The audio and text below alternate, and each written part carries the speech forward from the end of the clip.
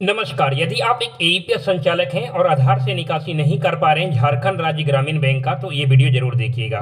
अभी आधार निकासी यदि आप झारखंड राज्य ग्रामीण बैंक का करते हैं तो कुछ इस तरह से ट्रांजेक्शन अमाउंट एक्सिस लिमिट का इधर देखने को आपको मिल रहा है।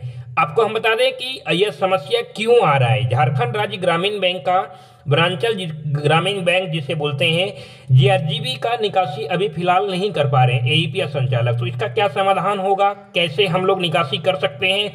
किसी भी कस्टमर का जब आप निकासी करते होंगे तो ट्रांजेक्शन अमाउंट एक्सेस लिमिट कुछ इस तरह से इरर आपको दिखाई दे रहा है।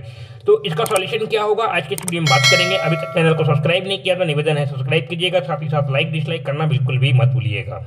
आपको बता दें, यदि आप झारखंड राज्य ग्रामीण बैंक का निकासी नहीं कर पा रहे हैं और यदि आप ट्रांजेक्शन करते हैं तो ट्रांजेक्शन अमाउंट एक्सेस लिमिट का इरर दे रहा है। लेकिन, खास बात यह है कि ये सभी कस्टमर को यही इरर दे रहा है। यानी कि ट्रांजेक्शन अमाउंट एक्सेस लिमिट आप 10 कस्टमर का ट्राई करेंगे तो 10 में से 10 सबका सेम ही दे रहा है। क्या सबका लिमिट खत्म हो गया? आज की इस वीडियो में हम आपको बता दें। बता दें कि देखिए transaction amount excess limit AEPS में इरर का मतलब ये होता है कि ग्राहकों का जो लेन देन की सीमा होती है, वो समाप्त हो गया है। ठीक है? लेकिन यह ग्रामीण बैंक के तरफ़ से अभी टेक्निकल इशू माना जा रहा है कि टेक्निकल इशू है जेआरजीबी बैंक का, जिसकी वजह से ये समस्या देखा जा रहा है। क्योंकि मैंने कुछ ऐसे भी कस्टमर का देखा है कि जो कस्टमर ने इस महीने में कभी नहीं निकाला और जब आप 500 या हज़ार निकालने की कोशिश कर रहे हैं तो वहाँ पे लिमिट शो कर रहा है। यानी कि इस महीने में एक भी बार ट्रांजेक्शन नहीं किया, लेकिन फिर भी इधर आपको ट्रांजेक्शन अमाउंट एक्सेस लिमिट का देखने को मिल रहा है। तो ऐसी समस्या जो है, ये जीआरजीबी के ए सर्वर पर टेक्निकल इशू है,